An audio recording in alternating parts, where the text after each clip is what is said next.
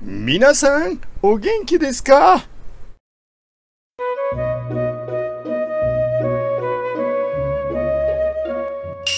かかちです。今日はね、こちらね、先日お引っ越しした、みかんさん、淡水フグのみかんさんだね。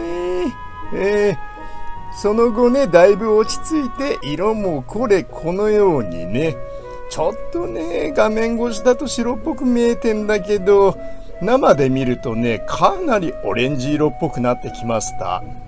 若干の砂の色の違いなんだけどね、それでもやっぱりそれに適応してオレンジ色っぽくなるみたいだね。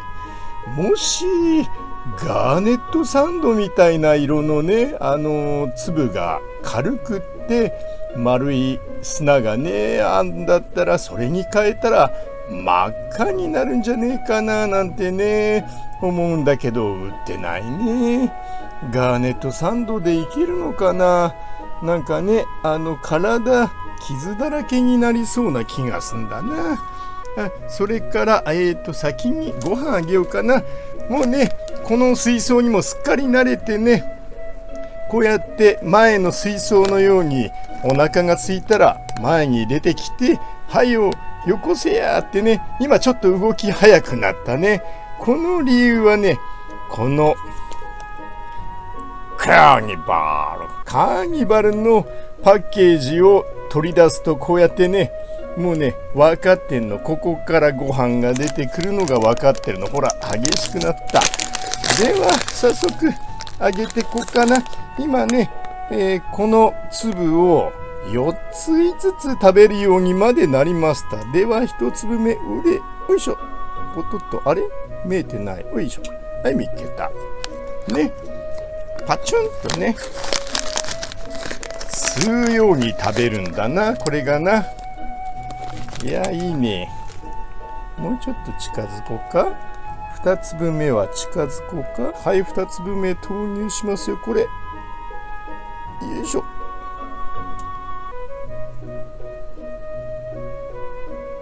ちょっと、みかんさん、あ、かけらが落ちてった。後で拾います。お漂って、漂って、あ、はい。2粒目そこからすかさず3粒目3粒目よ。みかんさん。はい。はい。はいはい。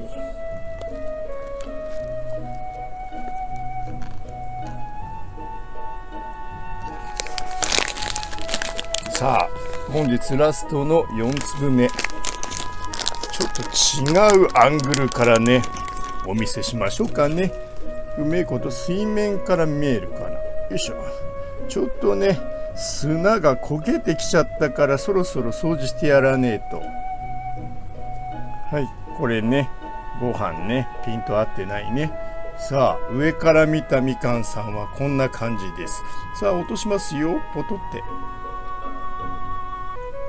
あお腹いっぱいっぽいね。うん、一粒目に上から取ればよかったかな。まだあるよ、みかんさん。みかんさん。お腹いっぱい？お腹いっぱいですか？ほれ。あるよ。あ、そこに沈んでったね。こういう時はね、もうお腹いっぱい。あ、水槽のガラス面もだいぶ苔がついてきたな。いいね。この水槽内のこうろ過シろ過システムっていうのかな？水槽内に微生物がねいろいろこう湧いてきたという証なんじゃねえかなって思うんだな。うん。そしてこのビヨーンと伸びたアヌビアスナナ。ね。前回の動画と見比べてもらうとすんげえわかると思うんですがこれだけこの1本だけ。おなんと一度もういらねえよみたいな感じで沈んだのに食べ残しをきれいにさらってくれました。まあ綺麗にとはいえねメートル？これほら。ね。カーニバルの人工餌のね。粉がね舞うんですよ。彼らテトラオドンミュールスという種類はね吸い込みながらもしゃもしゃこうかじるんだな。かじりながら吸い込みながら飲み込むみたいな感じなので彼らのような食べ方をする子たちはね人工飼料だとねやっぱ粉を固めたものですからこうやって粉が舞うんですよ。その分水の汚れも早いってことなのかな。ねあれなんか食べ足りなさそうなアピール。でもねこれでもう1本あげるとまた半分残してみたいなことをやるからいつも、えー、だいたい4本ぐらい。例えば給仕間隔がね2日とか空いたらね、えー、5本ぐらいパンパンパンとあげて食べてもらってますが今のところだいたい毎日か1日空くかぐらいのペースでみかんさんこうやって前へ出てきて催促しますからね。うん4粒ぐらい。で順調にぷくぷくに丸くなってくれていい感じ。これでね30センチ水槽にお引越ししたことでサイズもここからグググって大きくなるかなって期待はしてます。うん。この動きはまだ食べる動きですが。ね。もう一回上から見ましょうか。ほい。こんな感じで。うーん。どうしても白っぽく映っちゃうのが残念ですね。これでもちょっとねあの照明の青を切って赤みが強く見えるようにしてるんだけどね。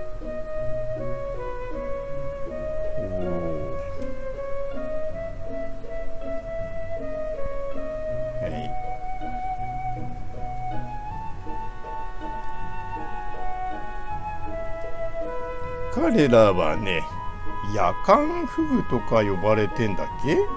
なんか形状が形がね夜間っぽいから夜間フグとかっていう俗称もあるだかないだか違違うフグだったかな。ねジジイの知識なんてねあのいろいろ頭の中に入ってるものがごちゃごちゃになって入れ替わったりとかも平気でしますからね。あんまり真に受けないでくださいね。うん、ちゃんとね私が言ってたことでなるほどともし思ってもね裏取りましょう。刑事さんのように裏を取ってね、うん、いろいろ調べたり人に聞いたりしてうんじじいが言ってることもまあ一理あるかとかね、うん、ちょっと違うんじゃねえかとかね、うん、そういう精査をしてもらいたいね。うん、いやじゃあ全体像最後に全体像を映しましょうか。よいしょ。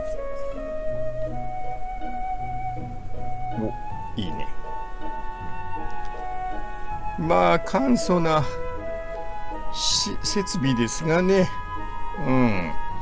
みかんさんも気に入ってくれてる感じですね。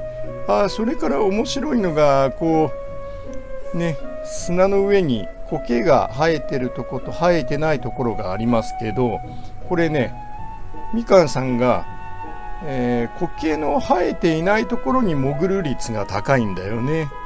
たまに昨日だったかなここに跡があるじゃん？この苔がもともとあったところっぽい。近づこうか？ここほらみかんさん型に跡ついてるじゃん？ここ苔がうっすら生えてたんだけどみかんさんが潜ることでこの形にね色が取れてます。でも基本的にはねこっちの苔が生えていないエリアを積極的に利用してるんでこうやって苔の生えてるエリアと苔の生えていないエリアができるっていうちょっと面白い現象が起きてます。それをちょっとねお見せしたくって掃除は控えてました。うん。この掃除もね難しいね。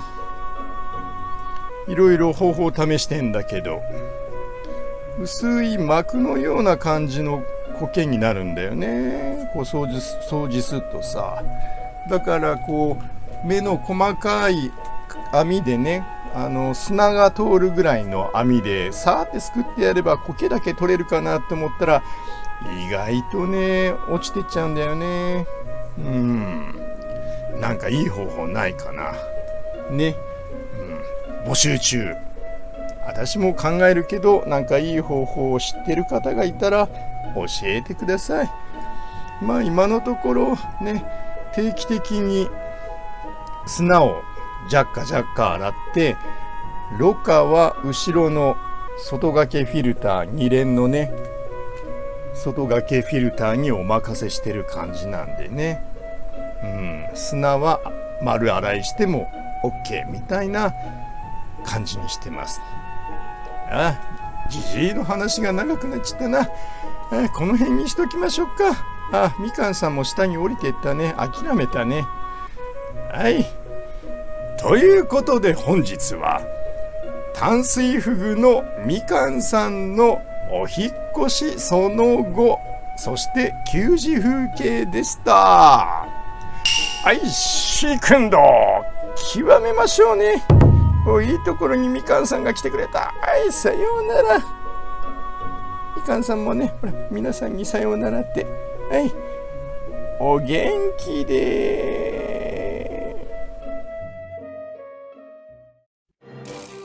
チャンネル登録はここ。関連動画はここ。再生リストはここ。です。よろしくです。